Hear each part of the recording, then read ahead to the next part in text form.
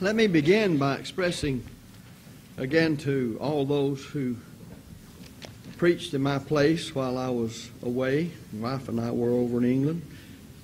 I think there is still a good work going on, and we have been able to contact even other of the brethren there that we hope we can work with as time allows. This year's lectureship had to do with fellowship. You might think about lectureship and fellowship, and it may help you start to think a little bit about uh, why we put such a thing as ship on the end of lectureship, fellowship, eldership. There's reasons there. But in the process of discussing fellowship, then of course we answered a number of questions from a number of the brethren. I remember, as I hold right there, many years ago, over 40, the late Brother Thomas Warren bringing an excellent series of lessons on what the Bible teaches concerning fellowship. And he emphasized in that series of lessons what still needs to be emphasized, and that is there's just probably not enough understanding among the brethren regarding all of what the Bible teaches on fellowship. Now, he made that statement, and I can make it the same way, and for the same reasons he made it. If you go back to the beginning of the 19th century when people were trying to come out of human churches governed by the commandments and doctrines of men, in catechisms and prayer books and manuals and disciplines, then the first great effort was how is it that we can all, since we believe in God the Father and Christ the Son and our need of salvation and Christ is the only Savior and the Bible is the Word of God, how is it then that there's this kind of Christian, that kind of Christian, and another kind of Christian when the Bible speaks of no such thing? Silent. Thinking people begin to say, well, there's something not right. I mean, it's the same God we all worship. It's the same Lord we all look to to save us. It's the same Bible that reveals it all to us. How is it that we're divided? How is it we are not in fellowship? Well, they begin to conclude it's because, first of all, assuming everybody has the right disposition of mind or attitude toward God, that it must be we don't have the right standard.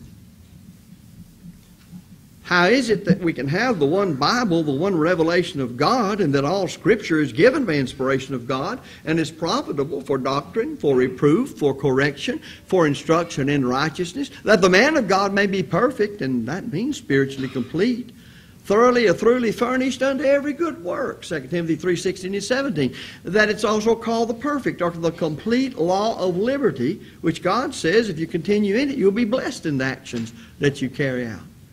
How is it then that everybody acknowledges this Bible is the Word of God? And of course, he says everybody. By that, he means those who uh, believe in uh, Father, Son, and Holy Spirit the need of salvation from sin and becoming Christians, and that Jesus is the way, the truth, the life, that no man comes to the Father but by him, as he said in John 14 6. How is it we're divided? So the first thing they said was, well, we're going to have to get back to where we all have the same standard to govern us. And that since we all have the Bible, we acknowledge it to be the Bible, but we're all divided, where's the problem? And they started thinking, well, we've got this particular uh, man made book, and it's saying that if you're a Presbyterian, then you've got to believe and do this. And they were real strict on those things in those days. Or if you're a Methodist, then you follow the Methodist discipline, the Methodist teaching, and it's peculiar and sets you apart from every other church and makes you a Methodist or a Baptist or whatever. So if we get rid of those councils that set up those disciplines and manuals and prayer books and catechism for each one of these particular churches that keep us all separated, then we'll be on the right track. And that was the beginning.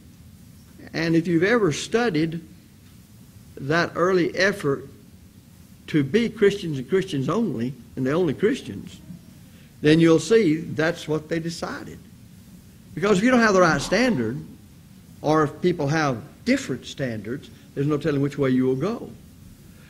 That focused them then on the passages in both the Old Testament and New Testament, but especially the New Testament, that talked about being one. Thus, they concluded that before we can fellowship one another as the Bible defines and uses that word fellowship, we're going to have to all agree upon what is the truth of God's will concerning salvation and the church and Christian living. And again, it's centered on that truth is the Bible rightly divided, and especially the New Testament of Jesus Christ. They knew he said he'd build his church. And they began to say then, well, it must be then that the one church of our Lord is not made up of all these differing churches and factions. That's foreign to what anybody can read in the New Testament. So we can't support that any longer. Oh, it, it caused a great stir in the first 20, 25 years, 30 years of the 19th century among people who said, well, the Bible and the Bible only is all we're going to appeal to as our rule of faith and practice from God. Well, questions began to arise in people's minds. One man said, well, if that's the case, then we'll have to give up infant baptism because we can't read of that in the Bible. And how can we do that? And in a great discussion at somebody's house, the fellow almost began to cry. And some other brother spoke up and simply said, if it's not in the Bible, we need to give it up. And it was that resolve of honesty of heart that began to cause people to see well, are we practicing what Jesus in the New Testament teaches us to practice?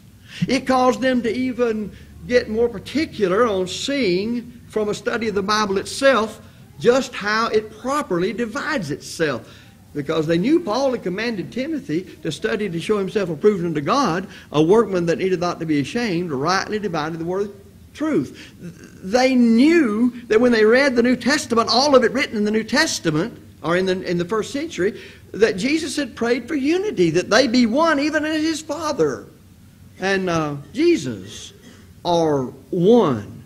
And they knew it was to cause the world to believe. That is, this oneness or unity. So here's authority, here's unity, here's fellowship. They're all hooked together. You can't study one without the other. And thus they understood that unity and the fellowship that we've mentioned couldn't exist unless they were all under the one head of Christ who manifested his will in his last will and testament. And that appealed to their common sense too, because that's exactly how they would operate if they wrote their last will and testament in view of the fact someday they wouldn't be here and they wanted whatever they left behind to be distributed according to their will. So they began to do this kind of thing. In fact, when uh, Campbell preached early on what was called his Sermon on the Law, it was a revolutionary sermon. It doesn't impact those of us who study the Bible today in the Lord's church, at least most of us, I say who study the Bible, as it did the people at that time. Because people then do just what denominations do they. They don't make any distinction between the Old Testament and the New Testament. Campbell says if you're going to understand the way that Christ saves you, you not only have got to take this book as the one inspired will of God, you've got to realize that it divides itself appropriately and that God's given it for our study and we can figure out how it ought to be divided to get the truth, the whole truth, nothing but the truth on whatever it is that pertains to our salvation. And it was very revolutionary. In fact, that's one of the reasons that I suggest that you study the history of the early efforts of men in the 19th, late 18th century to produce pure, primitive New Testament Christianity. Not because you have to know it to go to heaven. I don't believe that at all. I don't think you have to read any of Campbell's works or Barton Warren Stone or any of those people that were champions in that day and time in order to learn the plan of salvation from God's Word and go to heaven. But I do think it assists you in understanding how men did come out of what was basically a denominational world without any concept of what we're talking about. The church is just one church made up of all the denominations, and you're saved by Christ, and you pick which denomination you want to be a part of, and everybody uh, does what they want to do. No, they realized different from that, and they knew if they would have fellowship one with another, there's going to have to be the right authority to appeal to to determine, number one, how do you become a Christian? At what point do you become a Christian? What's involved in becoming a Christian? What does the word Christian mean? Where are Christians located? And so they began that effort that went over many, many years. And if you read that history, you will see how they struggled to come out of denominational sectarian, basically Protestant denominationalism. None of those words are found in the scriptures. The Lord's church had never described such a thing. They could read the Bible and know that. So they said everybody ought to have a Bible and everybody ought to be studying it every day. That's how you're going to learn God's will. And guess what? In that time in the United States history, if there was any book in any home on the frontier or anywhere else, it was the Bible. And it was read no matter what church they were a part of, if they were religious at all, save maybe Roman Catholics. And what's very interesting is that there never has been a Christian where the Word of God has not gone. Which says then we must go back to what the Bible says, learn how to study it. If we're to have, here it begins, fellowship with God. When we study fellowship, as to who among humans we can engage in fellowship. First of all, there must be the vertical fellowship between the saved human and God. There's where it begins. And that demands that you know the truth of God concerning how one is saved from sins, at what point that happens. Because when it happens, you become a Christian, Christian meaning of Christ. And you're in fellowship with God. And there's nothing in the Bible that says that a child of God, a member of the Lord's church, is to be in spiritual fellowship with anybody else that is not in fellowship with God. It's just not there. Now, what about the word fellowship? Well, the Greek words basically called uh, are known as koinonia, and it means something we share together because we are one mind and one judgment. A great example of that word itself is found in Acts chapter 2, which is the record of the inspired Luke of the beginning of the Lord's church in Jerusalem. On that first Pentecost of our Lord, at the new calendar's right, about AD 30, was known as 33. There's been some adjustments to the calendar, and so AD 33 or AD 30.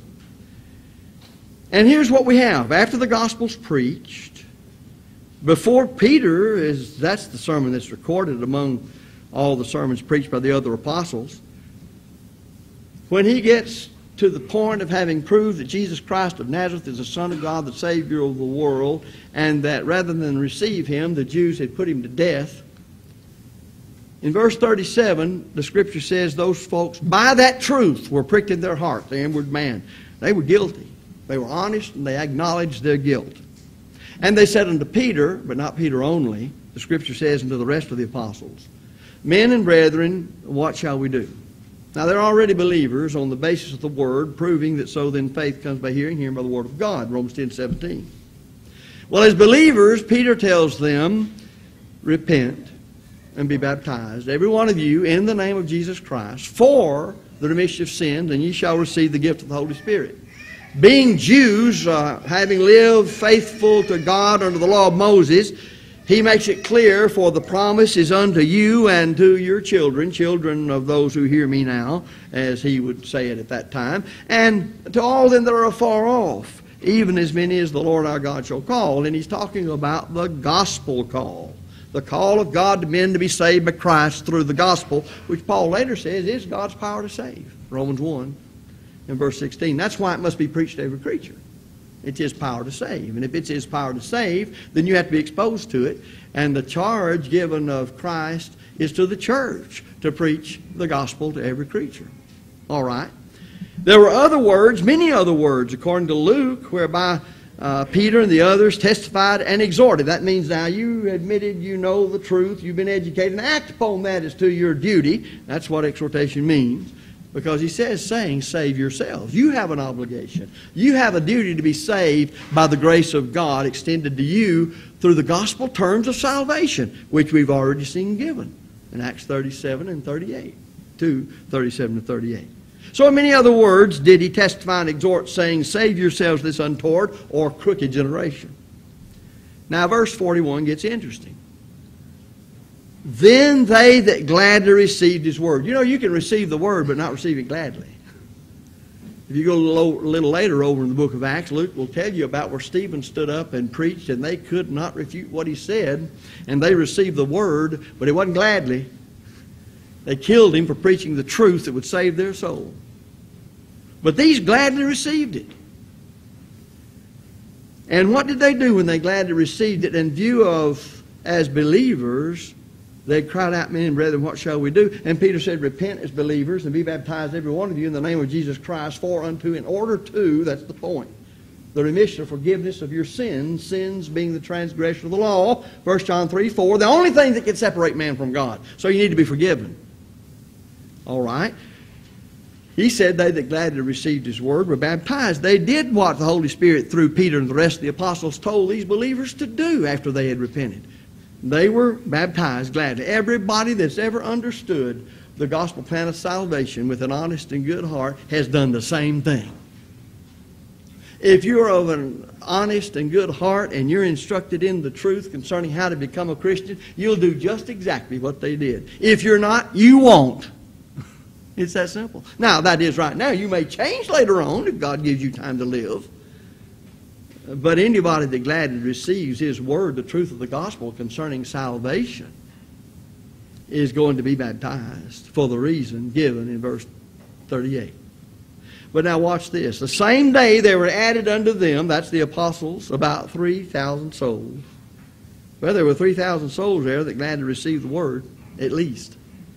And you see, that verse doesn't stop with the end of verse 41, even though it's the end of a sentence.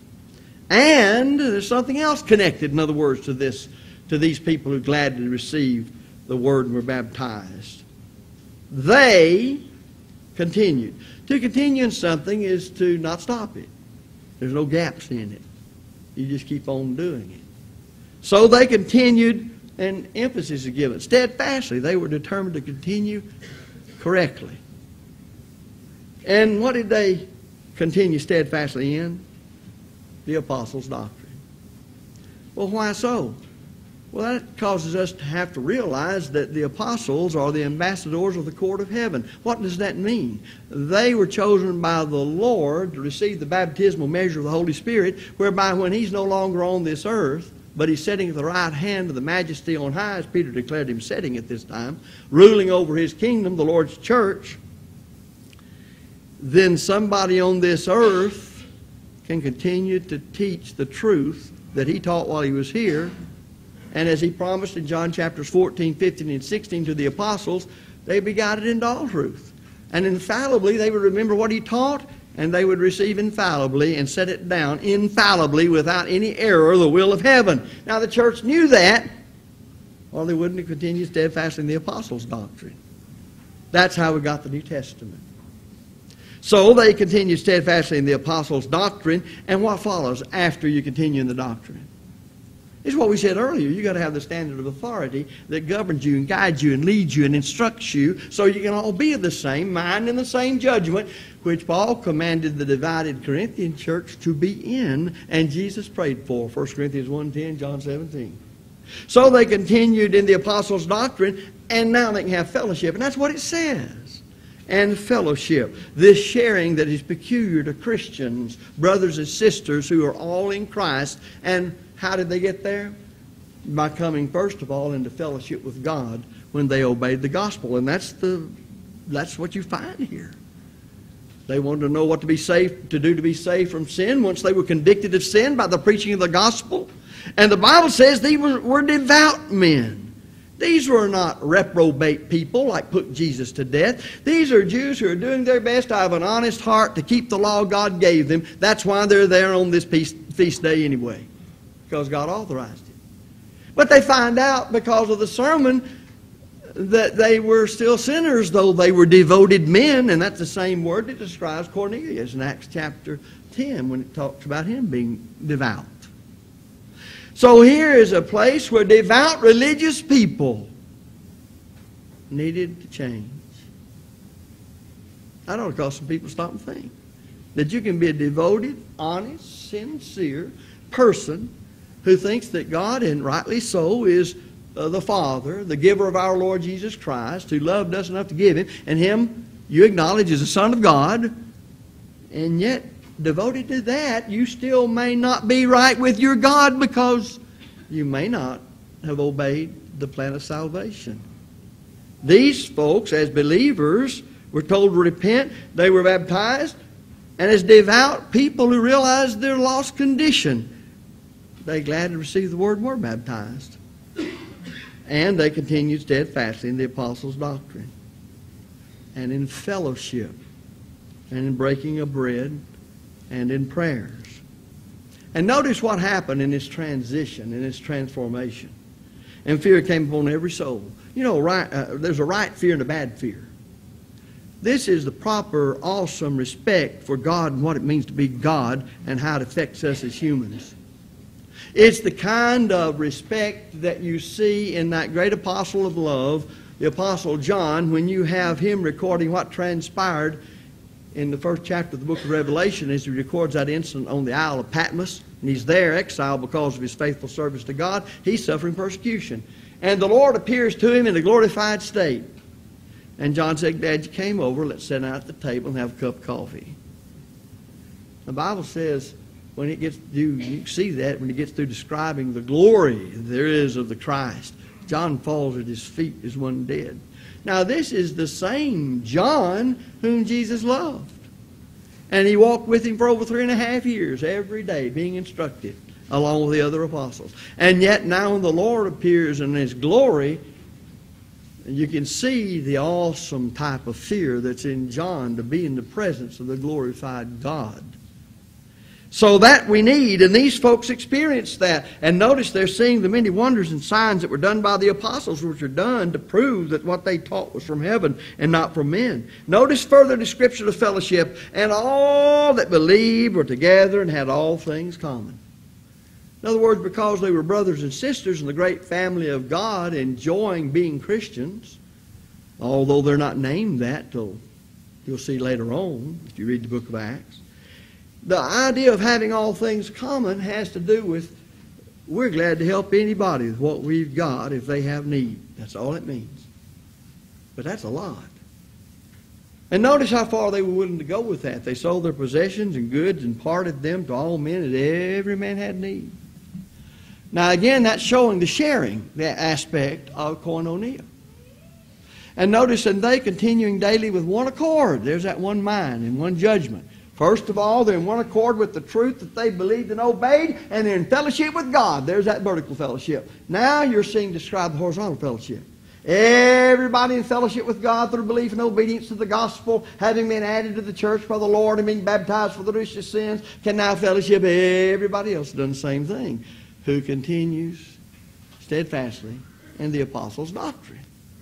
Okay, and they continued daily with one accord. Well, in the temple, they had no situations we have today. All sorts of people gathered in that monstrous building and the porches of it to have different classes, so they did the same thing. And notice in breaking bread from house to house, to eat their meat with gladness and singleness of heart.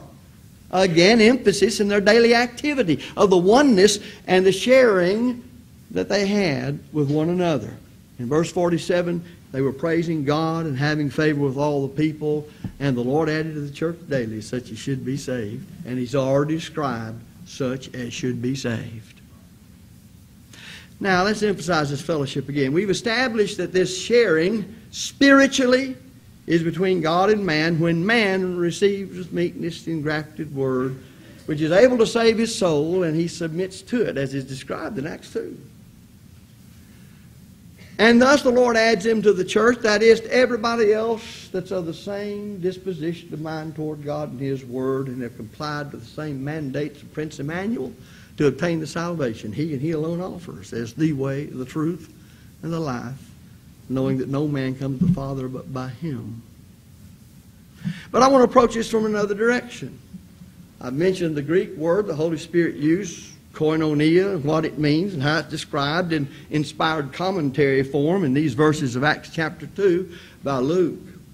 But I think all of us have seen the great sailing ships, either in picture, maybe you've even toured some that are around, or you've seen movies where they're in complete sail. Well, there were a whole lot of people on those ships to do the work necessary for them to sail Sometimes you may have seen movies or read something that told about how many people really own those ships. Well, if you look in uh, Hebrews chapter 2 and verse number 5, Jesus himself is called the captain of our salvation. He's the head. He's the authority, even as he declared before his ascension, all power and authority hath been given unto me in heaven and on earth. Matthew 28, 18. The book of Ephesians describes him as the head of the church, as he is head of all things. So it is his word is the authority. It's his gospel we preach. Brethren, listen, there is many gospels acceptable to God as there are lords acceptable to God.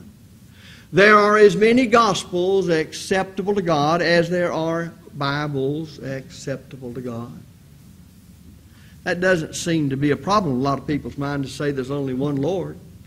But they have a problem when the next thing comes up one faith. There's only one system of faith going to save anybody.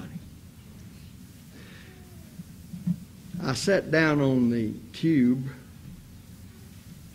in uh, the underground subway, they call it the tube, going wherever we were going. Jody was sitting across from me, and Johnny Oxendine was standing there.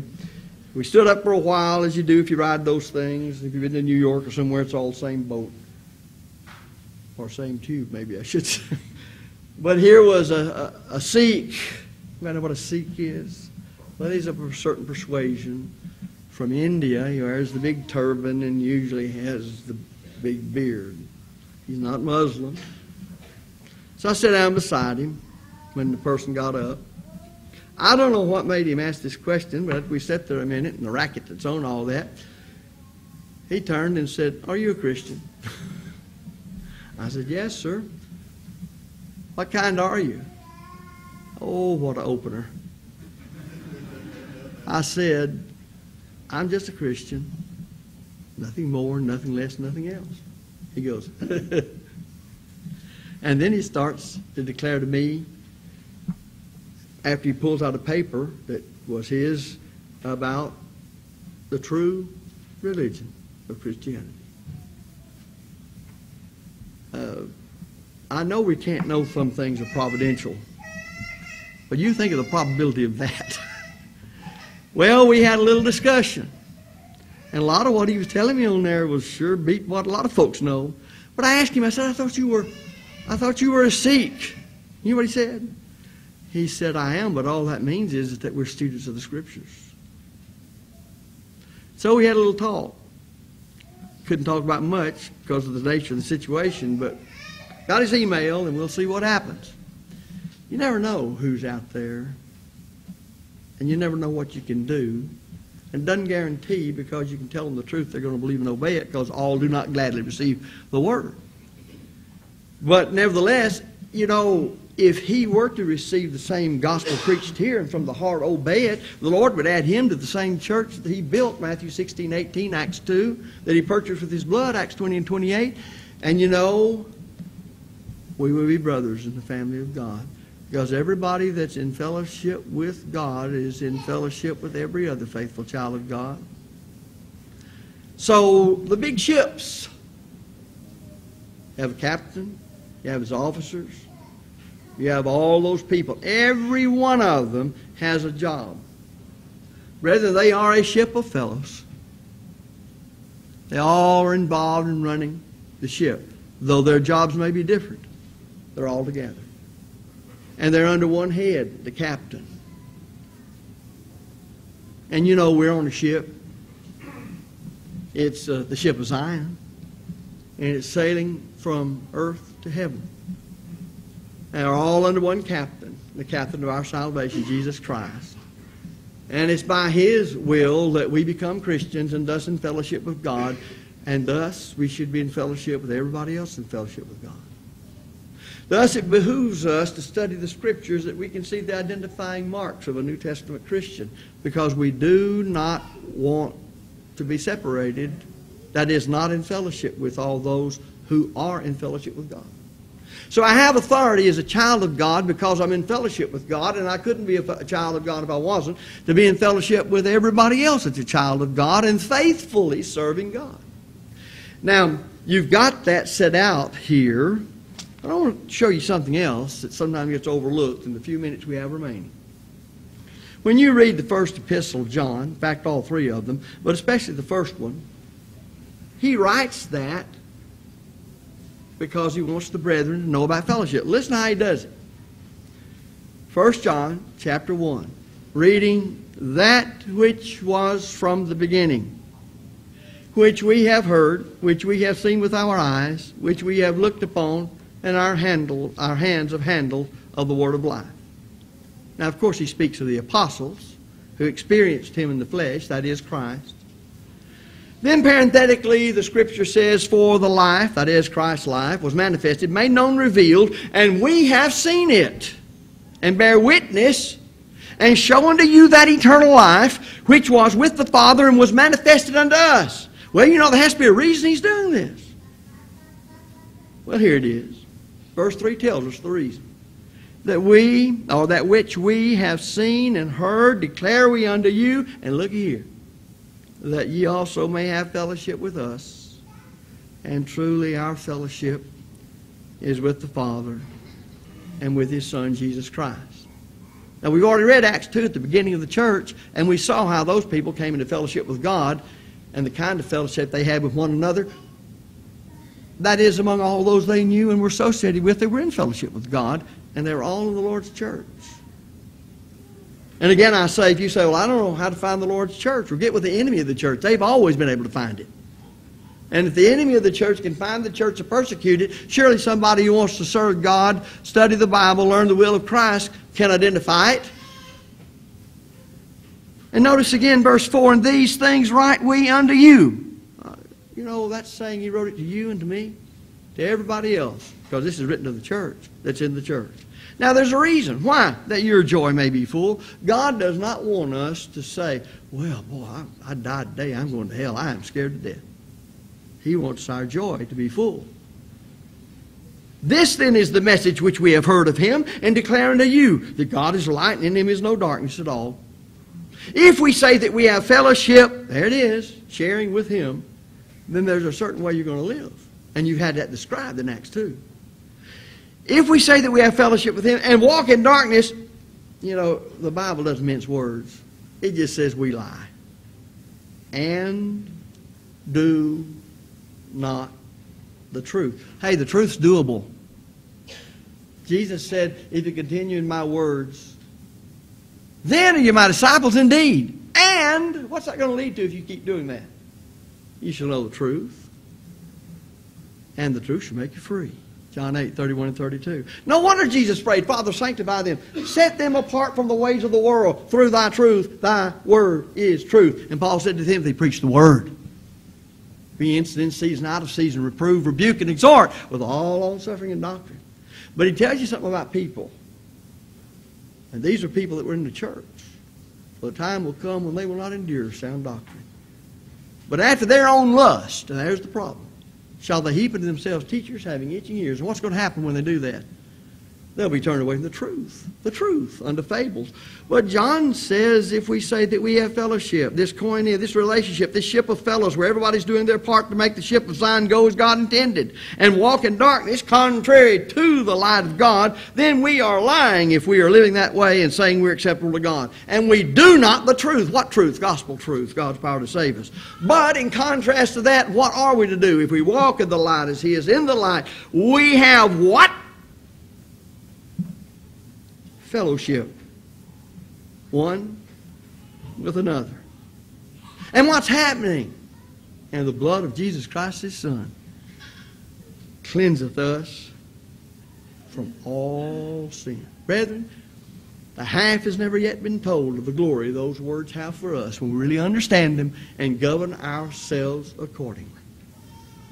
That's fellowship with God and being steadfast, unmovable, always abounding in the work of the Lord. 1 Corinthians 15, 58. That's what that's saying.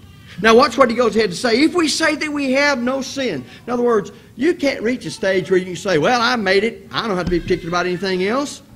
I, I don't even commit sins of ignorance or sins of weakness.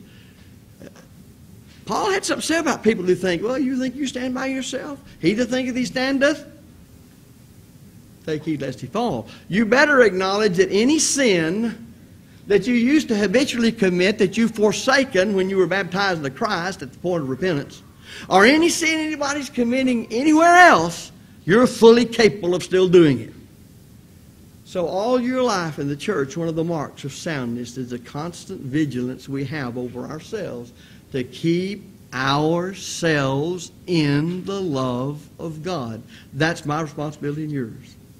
And the fellowship we have as brothers and sisters help each other to keep ourselves in the love of God. Brethren, my work as a preacher, as a Christian, your work in whatever capacity you have in the church, but as Christians, one another, is to help everybody else stay in the love of God. To stay in the fellowship of God. To stay faithful to the Lord. Thus our Lord will say, Be thou faithful unto death, and I will give thee a crown of life. Now, who's that for? Those who are in fellowship with God, those who are in fellowship with everybody else in fellowship with God, and those who die in fellowship with God. The blood cleanses, but we've got to contact it first. And that's when you're baptized into the death of Christ, Romans 6, 3 and 4, wherein he shed his blood. And thus, when you're baptized into Christ, you're baptized into his death, and you're raised to walk in newness of life, added to the church in fellowship with God, in fellowship with everybody else that's done the same thing. And the blood of Christ, his Son, cleanses us from all sin as you're steadfast, unmovable, always abounding in the work of the Lord. If you're a faithful child of God and you have that understanding, you have something so very few in this world has ever understood or known. You are the elect. You are the royal priesthood. You are children of the Most High. And all that there is from the throne of God in heaven that encompasses all there is about the power and glory and might of heaven and all the angels therein works for you like it doesn't work for anything else because you are a child of your Father in heaven.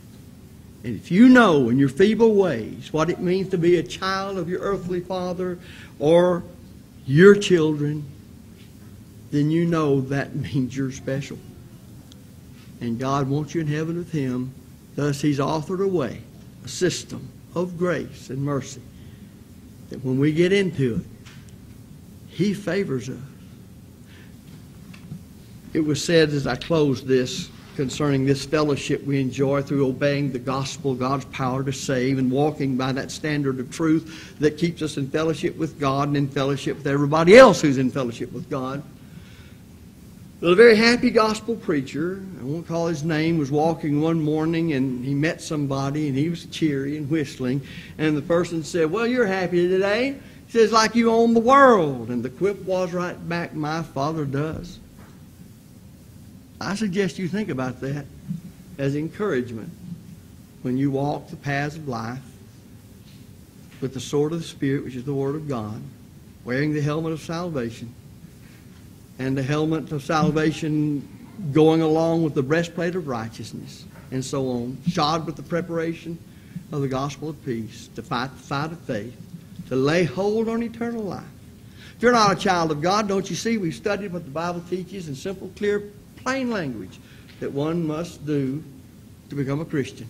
If you're a child of God and sinned, then the second law of pardon to repent of that sin confess it and pray God for forgiveness, rise up and press on toward the mark of the prize of the high calling of God in Christ Jesus. Forgetting those things which are behind, do that.